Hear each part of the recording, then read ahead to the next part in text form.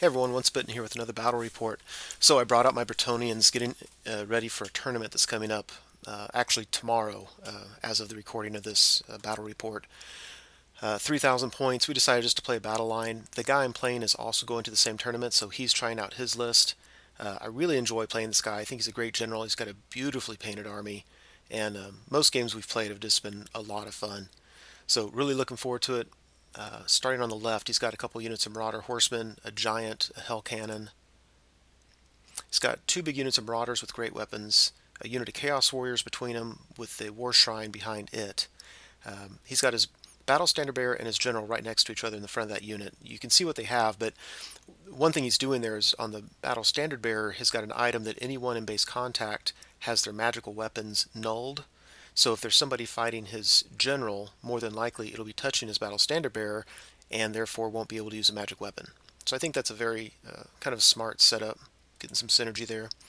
Uh, he's also got a couple spellcasters. The one on the left, you can see in the front right corner, is a level 2. And The one on the right is his Sorcerer Lord level 4. So uh, i stuck a, some, actually Yes, I have a unit of bowmen on my right, then a trebuchet. If you look at the far left, that's my uh, Grail Relique. It's nice bringing that thing out. A lot of my list is based on what I have painted, and uh, this tournament is giving bonus points for conversions and things like that. So I thought the Grail Relique might be a good unit to bring out it's because it's completely scratch built. Anyway, I've got a Men-at-Arms, some Fast Cav in front of them, unit of six Grail Knights. Uh, there's a character in there, I'll talk about her in a bit. A Trebuchet, some Knights of the Realm, Peg Knights in front of them, my Battle Standard Bearer, and then some Questing Knights. I'm not a big fan of Questing Knights, but they're painted. So I've got two hero level characters. Ideally, those two characters and the Prophetess should all be with the Knights of the Realm, but it just didn't really fit in deployment, and I'm not worried about it. I'm not looking to charge turn one anyway, so I'll just move in there next turn. Uh, so the hero, the, the Green Knight model, has the weapon skill 10, rerollable 1-up armor save, and the uh, Battle Standard Bearer has a rerollable 2-up armor save. So they're designed to go in the front of the unit to make it so that unit doesn't take a lot of wounds. And then uh, starting at the far right, I've put a level 1 Damsel with the prayer icon with the men-at-arms, so they have the same ward save as my knights. And remember the Grail Relique has the same ward save too, so I've got a lot of ward saves in this army. And then I have the Prophetess in with the, the, the Grail Knights. She'll eventually move over to the Knights of the Realm. Uh, she wouldn't fit there right now, and I figured turn one, in case he puts a magic missile or something on the Grail Knights, he'll get some extra magic resistance.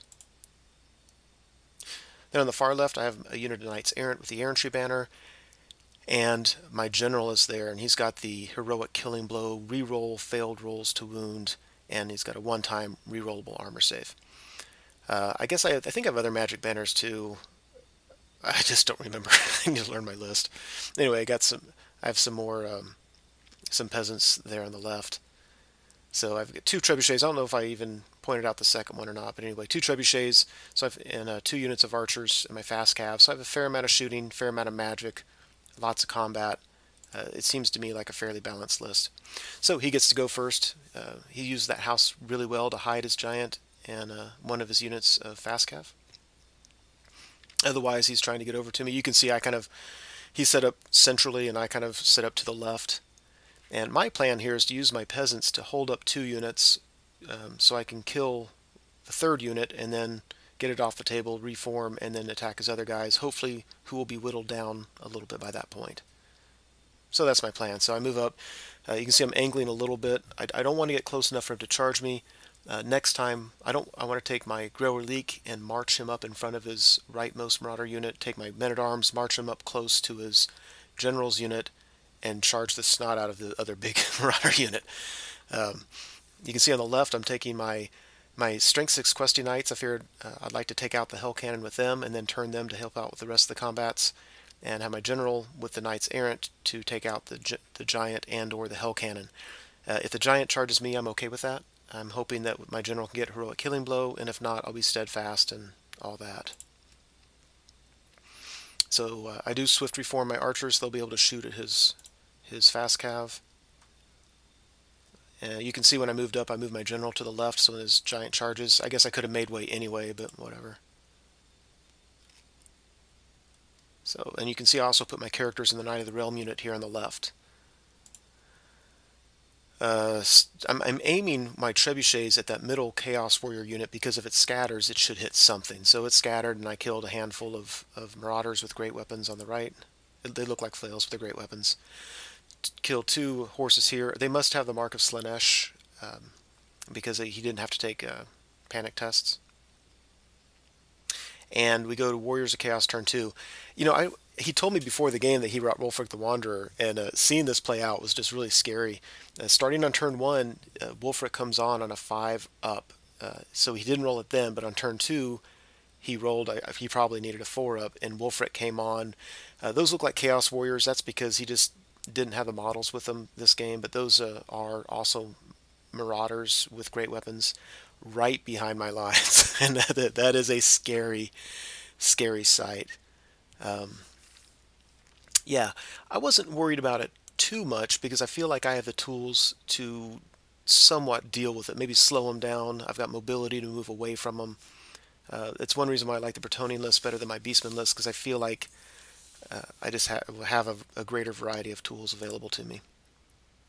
Anyway, so he moves these guys around, just kind of pestering my, my bowman. Uh, yeah. Whew. Uh, the giant charged in. He's in my flank, and he really just couldn't fit any closer than he did, so he just kind of clipped me. Uh, you can see during the magic phase, I got the, uh, oh, the Lore of Beast spell that makes you minus one to hit, and everything's dangerous terrain, because I was thinking that some of the things the giant could roll uh, would be swing with a club, and he would have to roll to hit, and I I was wrong. He didn't, so it was kind of a wasted spell. But ironically, he did fail his dangerous terrain, charging me, so he took a wound.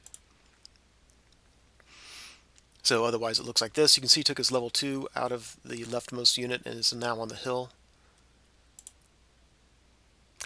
Yeah, the damn hell cannon. It shoots at my men-at-arms, and I don't, I don't, remember where he, I think he was aiming at him. Anyway, when all was said and done, he only killed one. Remember those men-at-arms have a 5-up ward save against the hell cannon shot. But it doesn't matter. Just because he hit him, they had to take a panic test. They were leadership 8 rerollable. Failed them both turned away from the Hell Cannon, and remember I was 5 by 10, so when they bounced through my Grail Relique, they were automatically off the table. I hate that damn Hell Cannon. I mean, if I played Warriors, I would bring it, but it, that's just rough. Uh, so he comes in here.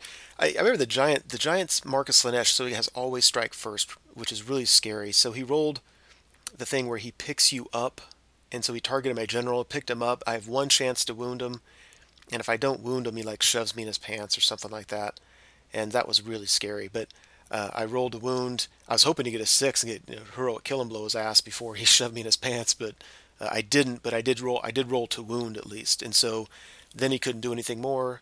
My general did another wound on him, but again didn't get heroic killing blow. So there we are. We stick in combat. His general, his uh, giant sitting on three wounds. Was, man, if I could have got killing blow on the thing, I'd have been set up perfectly to charge the hell cannon and would have been just in a wonderful situation. But at the same time, I'm really glad that my general uh, isn't dead. So we go to Bretonnian, Bretonnia turn two. So despite not having the men-at-arms, everything can still work. I park my, my fast cav in front of his rightmost unit, my um, Grail Relique in front of his Warriors unit with his General as Battle Standard Bearer. That Relique is fairly survivable. Um, as long as my BSB is nearby and it can it can uh, pass its stubborn 8 rerollable, uh, it, it takes people a few turns to chop through them. But I needed his rightmost Marauder unit not to get in its flank, because that would just kill it real quick. So that's why I put my fast cav in front of the rightmost unit. I take my Grail Knights and my my big block with both characters into his Marauder unit. Uh, I have a chance of beating him uh, and having him not be steadfast on the charge. It's not a sure thing, but I have a chance of it. I need uh, Wulfric the Wanderer's unit not to rear charge my Battle Standard Bearers unit should I not break the Marauders. So I uh, park my Peg Knights in front of them. My Questy Knights charge his Fast Cav. Uh, they, they wanted to charge the Hell Cannon, but obviously that's why he put his Fast Cav there. So that side of the board looks like that. Uh, I'm very happy with that charge. It's six Grail Knights, 12 Knights of the Realm, and two hero level characters. Uh, I know I'm going to win the combat. Uh, we just don't. I don't know if I'm going to break them. Uh, so my archers turn around. I think they might have failed their, I don't know if they failed their uh, swift reform or not. Doesn't really matter. Oh, no, they yeah, they passed it. They shot, killed two more of the fast cav units. Fast cav units down to one guy. Uh, so I, I, aim a stone somewhere. I, I, think I was in the middle of the rightmost marauder unit. Uh, just knowing that eventually I'm going to have to deal with them maybe, and, you know, the more I get them down, the better. And I want to keep the stone away from my knights. And of course it scatters and kills two of my fast cav, which doesn't matter as long as I pass my...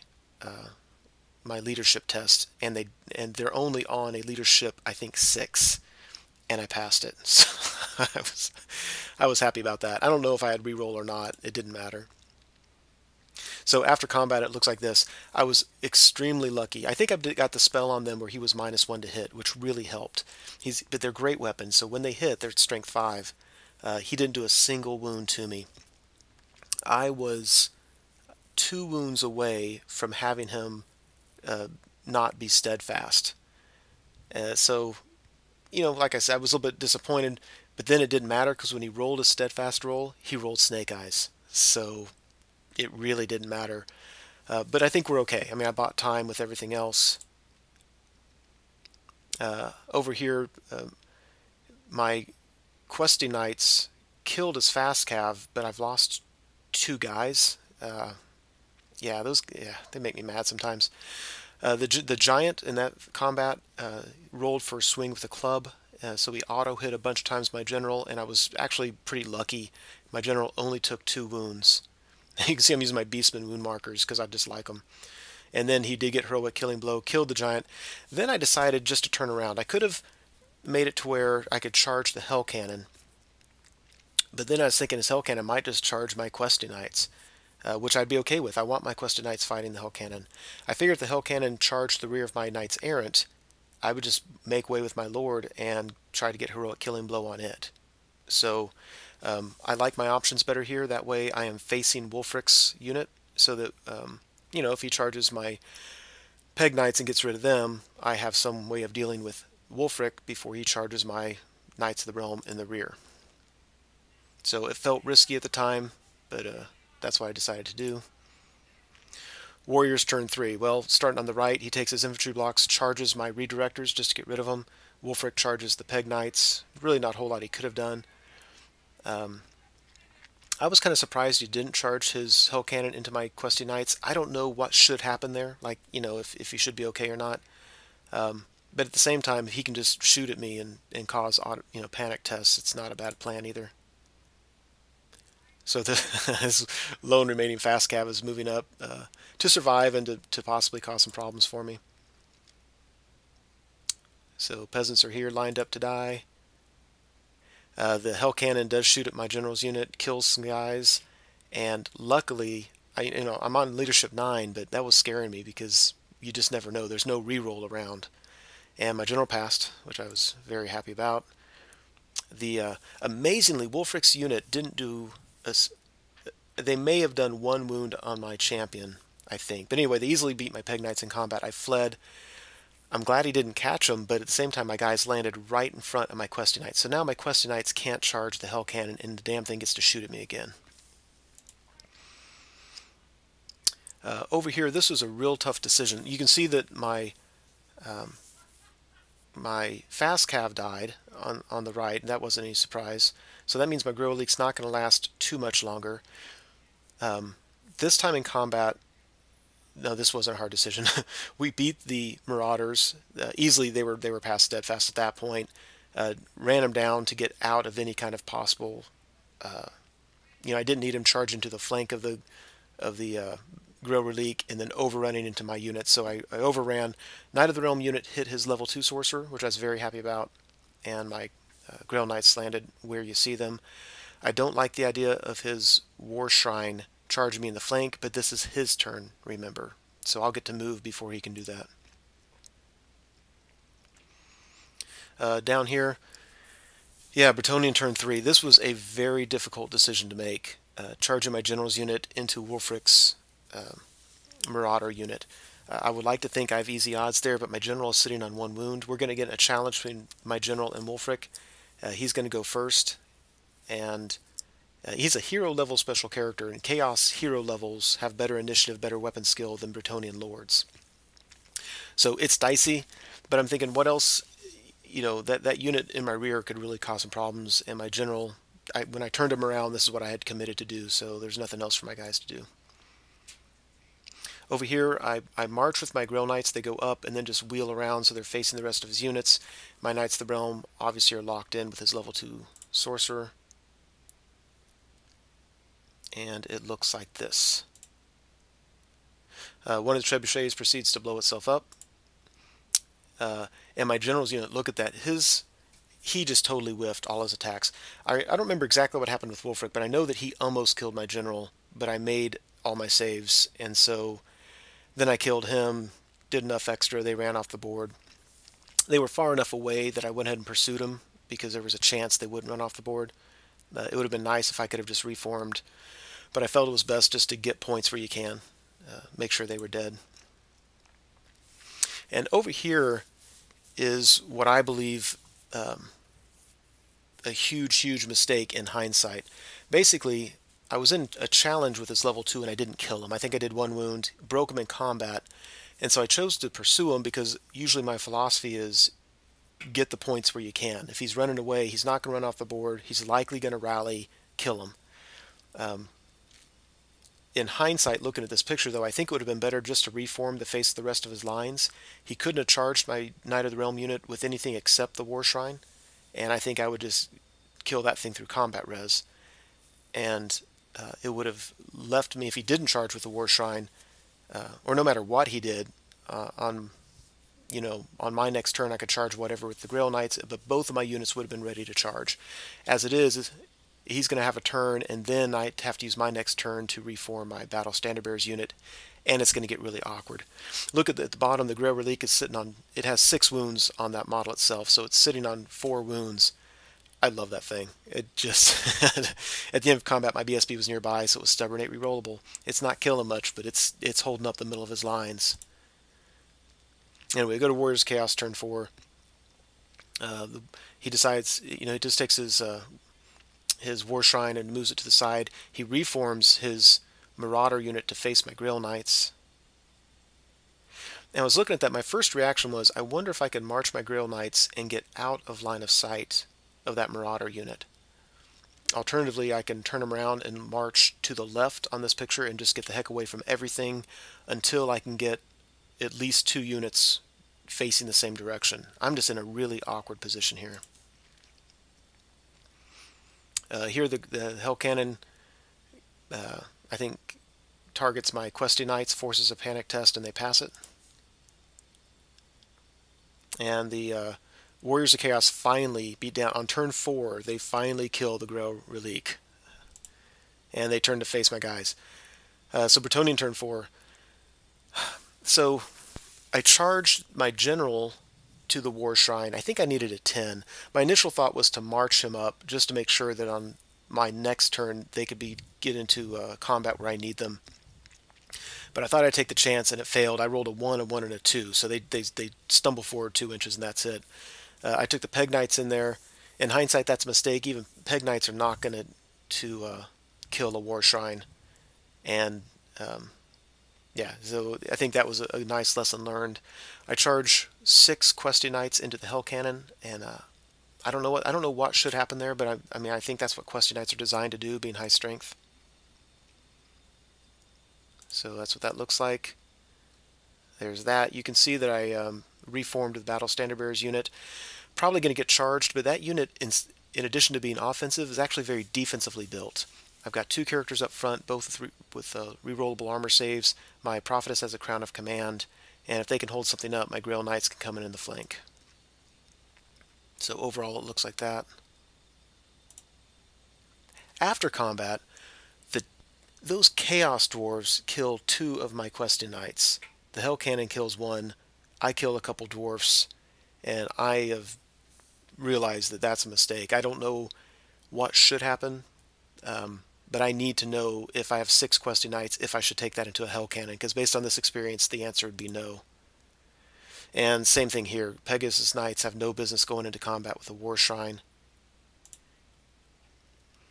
Uh, let's see, my Trebuchet kills some more of these Marauders, which makes them a little bit easier to deal with in the future. Go to Warriors Chaos turn 5. His, uh, war his Warriors charge my uh, General's unit. I'm sorry, my Battle Standard Bearers unit. Um, I, this is what they're designed for, like I said. I don't know how long I can last because General has a sword of anti-heroes and I've got three characters in there. And he, he didn't he wasn't thinking about it. He just said he had seven attacks. In hindsight, we realized he should have had eight attacks uh, because he didn't realize the prophetess was in the second rank. So um, I'm not going to last too awful long with that unit there. I need to, to break his warriors uh, some other way. Uh, during the magic phase, uh, his wizard miscast blows up a bunch of his marauders, and that actually I think in hindsight really hurt me because that made me think that my my uh, quest my uh, Grail Knights could probably take on that unit. They wouldn't be steadfast, could break them, and then turn around and help later on with the BSB's fight. Over here, the Hell Cannon makes short work of my uh, Questy Knights. Uh, the battle rages on here. You can see he actually didn't do too many wounds to me. Uh, armor saves and ward saves were really saving the day. We go to Bretonnian turn 5. And my dilemma here was, do I take the Questy Knights into the flank of his warrior unit, or do I take in the Marauders? And, um, yeah, I mean, in hindsight, they should have gone into the flank of the Warriors unit, because I don't think he has anybody with Stubborn, and I just very likely would have beaten him in combat and could have overrun, and that would have given me a charge into the Marauders anyway.